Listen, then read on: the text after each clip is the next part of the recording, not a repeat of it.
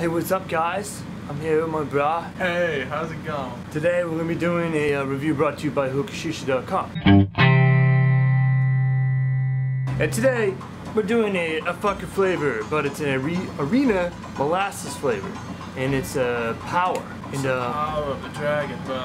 how I heard of this was from uh, Jay Hookah Smokes, so I'm gonna have, have him in my uh, my description for you guys. Check him out. Cool dude. First things I'll recommend is not leaving the tobacco in these containers because if the juice gets anywhere, it just leaks out the bottom and it's messy. I got one of these little Tupperware things. The power almost smells like like a really delicious perfume.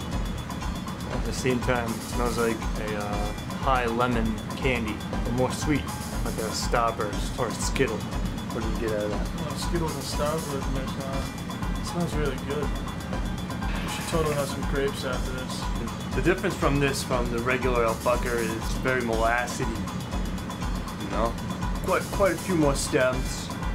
Um, it's just it's just as cut up as the regular Al Fakher cut is. It just seems like it comes with a shit ton of more juice. So I packed this in my Harmony funnel bowl, and I'm using the Kaloud Lotus, and it's working really well. I also got the more hose with more glass tip.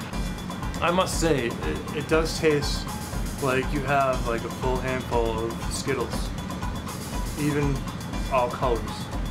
Even if there's like blueberry or whatever in it. You taste it.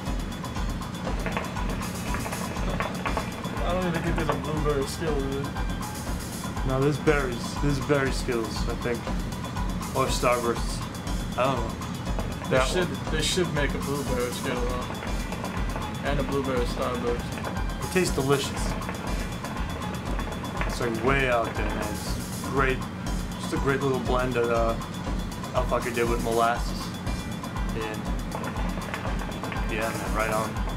Good stuff. There's a nice aftertaste. I can't put my finger on what it exactly is. It's not like berry. It's it's like a sweeter lemon, maybe. The yellow ones. Yellow Starburst or Skittles. Both. Yeah, yeah. I think you're right. It's like a yellow starburst exploding in your mouth hole. It's good. And the more you mention starburst, that's all it tastes. Yeah, it's, the tin still smells like a like I just had candy in there. Pretty cool.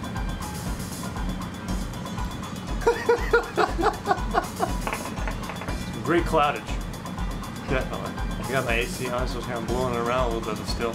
So if I had to grade the molasses version of the Al Fakher, I would probably grade it from like a 1 to 10 scale. I'd probably give it like an 8. It's really good. It's got smooth taste, smooth clouds. Good taste. Yeah, really good. What would your grading be for this? I would give this a rating of a 9. I like it a lot. Surprising. I mean, I didn't know about this line until uh, Jay Hookah Smoke posted about it, and I was like, what is this? I didn't even know we were smoking anything. And I was just like, alright, man. I just, I looked down and there was a hose in my And hand. then, yeah, just kind of like floated his way to it. It's just blowing it, you know? Going ham, cheese on this shit. yes, that like wraps this up, and I hope that helped you guys out. If you guys want to try this, there's a link in the description down below It's down there somewhere. if you want to click it, purchase this, try it. It's actually really good. I found it. He knows where it is. He knows, you know. You know, we know. Till next time, Toby Drew, Ah, Coffee McGee. I can't remember my name right now, but it starts the a J.